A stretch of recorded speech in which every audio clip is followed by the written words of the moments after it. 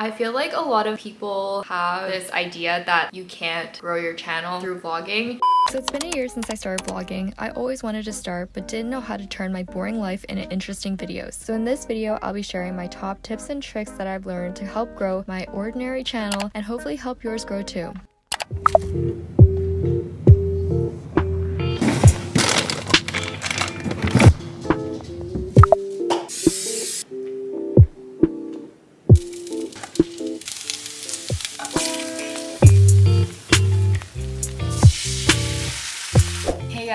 Welcome back to another video. Loving this breakfast combo. I've had it for the last few days and it's my new favorite thing. Egg whites, turkey bacon, not anything crazy or exciting, but it gets the protein in and I'm all about my protein game right now. But welcome to another vlog. I wanted to do a little bit of a different video today. I just had this inspiration. So I've been vlogging for almost a year or over a year now probably. I realized that a lot of people that want to start vlogging often think there's not anything to vlog about because your life might seem boring. And I'm a perfect example of that. My life, I would say on paper, is pretty average, pretty boring. But I think there's things that you can do to make your vlogs interesting and to make the content of it, you know, seem more exciting than it might actually be. not saying I have the most exciting and interesting vlogs, but I think I've come a long way. So I'm gonna take you guys through my day in the life, etc. But also talk about certain things and certain tips. So I'm about to have my breakfast and as you saw, I was literally just making my breakfast, but I think things that can help make the task that you're doing more interesting are around how you capture it. So I don't have the fanciest camera. I do use the Sony ZV-1. I'm not gonna talk too much about it or like my editing and stuff. I wanna save that for a different video, but I have a video about the Sony ZV-1. So it's not the craziest. You can literally film with your smartphone. Like all smartphone cameras are such high quality nowadays, but you can do things that make what you're showing seem more engaging and actually make people want to watch it. And just like the type of shots that you can do, being more creative with that is always fun. I want to eat my breakfast so badly, but I was watching some editing on a previous video. I was chewing and talking at the same time, which I really don't like to do.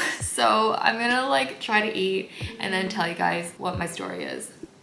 A few moments later always very sad when I have no more coffee left. So I just wanted to sit down and address a couple things. Quick tip first is I do like to sit in front of a nice big window when I'm doing sit down talking parts to my vlogs, which I've been doing a bit more lately, but I like to do it in like smaller doses. Having good lighting is absolutely key. I much prefer having natural light. So wherever there's a window, even though it's really gloomy outside, just having some sort of natural light makes a big difference. So that's a quick tip. In terms of vlogging, I feel like a lot of people have this idea that you can't grow your channel through vlogging. And I mean, I'm not a huge YouTuber, but I think there is something special and unique about vlogs that makes it different from other types of content. I know everyone's on TikTok and shorts and reels and stuff, but those are such short videos that I feel you don't really get a full story across. So my thing, and I'm sure you've heard it before, is having some sort of theme, some sort of idea and story that you can tie your vlog vlog together with. I think people call this like idea-based vlogs, but I've seen such a difference once I was able to figure out how can I tie things together in my vlog so that it's not just like random things. That's kind of what I started doing when I started vlogs because honestly I just wanted to make some videos and I just wanted to get started. But then at a certain point you realize the likelihood that someone's gonna search for a vlog or click on a vlog that's about a day in the life, walking my dog, taking my dog to the vet, getting groceries, going to the gym. Those are such random things and not to say that my vlogs don't have random things in them and a lot of vlogs do have like different pieces of someone's life but the way that you package it all together I think has to have that unified idea that's gonna make someone more likely to click onto it and watch it. So examples that I've done are things like my travel vlogs which is pretty simple because like I'm obviously going to travel and that's an easy way to package things up or if I want to show like what I'm eating or my gym routine it could be like a health and fitness related vlog or something like that or just cleaning up up making an idea based vlog around productivity and cleaning and tips for cleaning, stuff like that. So it's just like a really subtle shift in how you're titling and how you're thumbnailing. And then also once I have like an idea, for example, this is an idea where I am vlogging, but my theme is around sharing tips and advice that I've learned. Just having that as my focus so that every time that I am filming something for this vlog, I'm thinking back to how it relates to the theme of my video. That's one of my biggest tips because not to say that random vlogs don't work, sure they can, but it's a bit harder to get people interested if they don't know you and don't know what you're about, etc. The next thing is the storyline of your vlog and this is an easier example of that because the whole point is you want to have people continuing to watch. Having 100 people click your video but everyone leaving after 5 seconds is not gonna get you very far. So what is it that can help someone want to keep watching and wanting to find out more about what's gonna happen? There's a few things I like to do like if I would mention at the beginning for example I'm gonna do XYZ later on or this is a really easy way because I'm gonna be talking about tips and advice for the theme of my video which is around how I'm vlogging. So naturally the hope is that people who are watching this would want to find out what the next tip is and so on and so forth. So whatever theme is going on in your video, having that progression is also really important so that it's not just like jumping from one thing to the next and then like people don't really know what to expect to happen through the vlog. And the last thing, which goes back to why I think vlogs are a great way that you can still grow and also why people still watch vlogs is the opportunity to show your true self, being yourself, showing your personality. Everyone has a personality. Everyone's personality is different. I highly encourage you to be yourself. I feel like sometimes I'm not the most energetic and my energy levels definitely change. I've watched some of my own videos where I start off like here and then I kind of up down here and then I get back up to there and that's who I am. But what's more important than my energy level is the fact that I'm at least being myself and also coming across in a way that's comfortable in front of the camera and communicating clearly and stuff like that, which sounds like a no-brainer, but when I first started to try to vlog, it was kind of awkward. I was kind of like, how do I make this natural and what am I supposed to say? Like, am I just gonna explain what I'm doing? It felt awkward. The best thing you can do for this is just practice and just to get more familiar with it. I still look at the viewfinder sometimes because I feel like, you know, I just need to see what is happening on the camera. It's still something that I'm trying to work on, but I've seen a big difference in how I'm able to be more of myself and that's ultimately what I want to share with you guys and that's a window into my life and a window into who I am and my personality. I don't think I have the most interesting or exciting personality at all but it's the only one I got and I'm not going to try to be someone else so whoever you are, whatever your vibe is, make that clear. I don't think it's worth trying to just put on a certain type of personality but also it is important that you're coming across in a way that would actually make people want want to keep watching because it's like, oh, okay, like she's comfortable, she's like talking through things and I want to hear more of what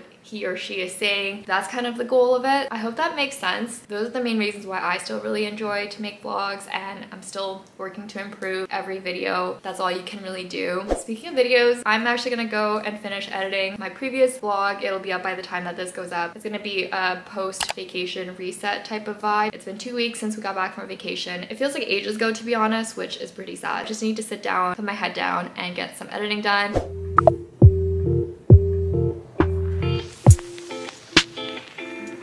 I'm editing. I got this pack of mochis. I love mochis. I got it from H Mart. If you don't know, H Mart is like this Asian grocery store. I think mochis are one of my favorite snacks, but they're really squishy. My boyfriend hates these because he's really not into the texture. So it's like a little squishy ball, but these have bean paste in them. If you've never had it before, you're probably like, what the hell is that? But I love these and I literally ate this whole pack in the last two days snowed quite a bit last night.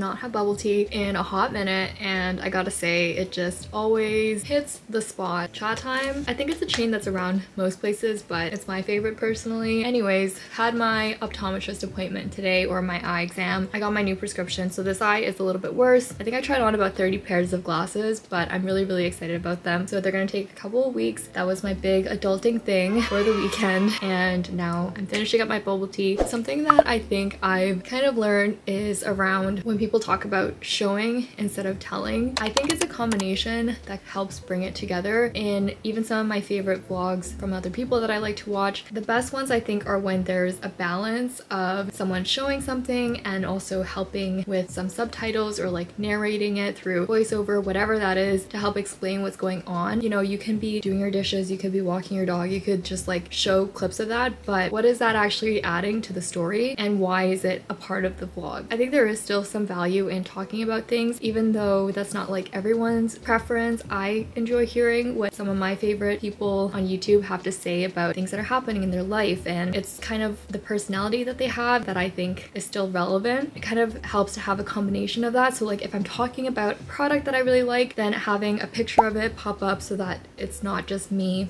talking about it is another way to show and tell or when I'm talking about something that happened popping that clip up just as like a b-roll so that my voice is still talking at the same time also helps with someone visualizing what it is that you're explaining. The other thing that I've learned or realized you don't need to show every single thing. I personally record everything anyways because I feel like you never know just in case I want to include it in a video but if you're gonna follow some of the other tips that I've kind of shared around picking a a theme and making sure there's that flow around your story, then sometimes the things that you record or some things that are happening through your day or through your week don't necessarily need to be added. If it's important to you, obviously include whatever you want, but I've realized that if I want to make things more centered around a certain idea, then sometimes it's best to not include every single thing. It definitely helps to go in when I'm editing with the mindset that not every single thing that I recorded or thought was interesting in the moment needs to make it to the final video. Again, this is just my preference of the things that I think make other videos more interesting, but let me know what you guys think. Okay, so I'm like out of breath right now. Also, yes, I'm wearing the same sweatsuit. I had it on yesterday and it's so cozy, so I'm wearing it again. I don't really care. But we're just gonna hang out for a little bit and then tonight we're gonna go watch Creed, the third one. And I'm really excited because first of all, Michael B. Jordan. Also love Jonathan Majors. He's been in a lot of recent stuff like Avengers, big Avengers fan. The movie's not until 7.30, so we're probably gonna get dinner around the theater. I don't know, just have a nice little date night, you know? Even though it snowed like crazy last night. It's actually pretty much all melted, so I'm pretty glad. Are you ready? So we took an Uber over to a cute little restaurant bar called St. John's Tavern in downtown Toronto. My boyfriend suggested it. We'd never been here before. We ended up getting a couple drinks and I got a sandwich. I really tried to do a shot of me eating it, you know, to be the whole vlogger that I'm trying to be. And this is what I ended up with. Literally a screenshot of myself trying to take a video. Of course this happens when I'm trying to do a video like this. But I left it in here so that we can laugh about it. We walked over to the movie theater. I took the escalator like a fat ass. My boyfriend took the stairs.